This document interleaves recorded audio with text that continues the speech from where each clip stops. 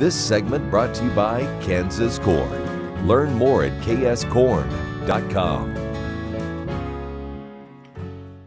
Good morning. I've got my living room back for a little while. The kids and their mom had some errands to run.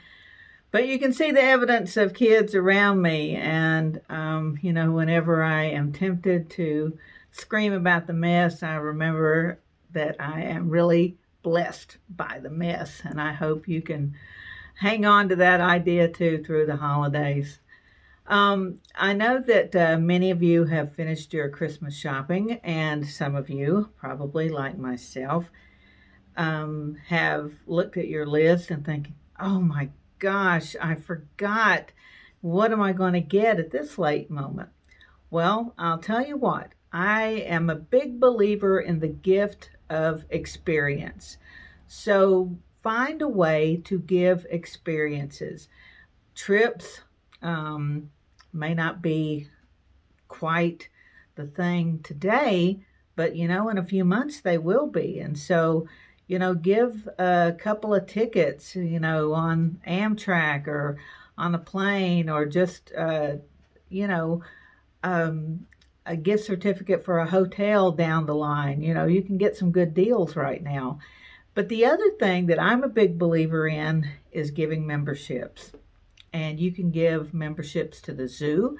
And what a fantastic family gift. If you've got a whole family to buy for, then give them the gift of the zoo membership that they can use throughout the year. They can take all the kids and it's not broken, it's not misplaced, it's not forgotten, you know, the day after Christmas. Another thing is, uh, of course, one of my personal favorites, memberships into historical societies. So we have the Kansas State Historical Society, and I used to be president of the Shawnee County Historical Society, so that's got a special place in my heart. And of course, the Guardians of the Fort Wallace Museum, which is another one that's got a special place in my heart. Uh, the Friends of Fort Hays, there are just so many of these groups throughout the state that do very good work and have very small budgets, and membership means a lot. Now, that we're moving into 2021 with high hopes of a better year. Of course, that is the bicentennial of the Santa Fe Trail. So a membership into the Santa Fe Trail organization, the Santa Fe Trail Association, which has a fantastic website. If you go to santafetrail.org, you can find um, how you join the organization and you can find the different chapters along the way that um, you might want to belong to as well. There are chapters in every state that the trail passes through, all five states. And so lots of lots of cool stuff happening there. Something else I want to remind you of, Around Kansas has a YouTube channel. Farming Unlimited has its own YouTube channel. And you can watch our videos there after they air on terrestrial TV and watch them anytime and please share with your friends.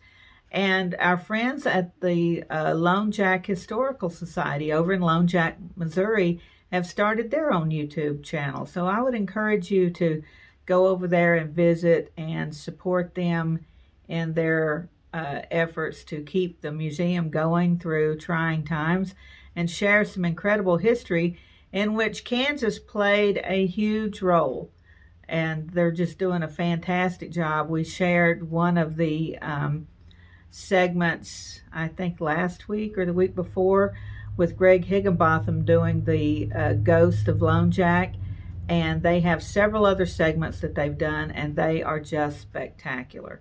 So please share the love. All right, got a great show for you this morning. Stay with us. In 1821, a trade route was opened from Missouri in the United States across prairies and mountains to Mexico.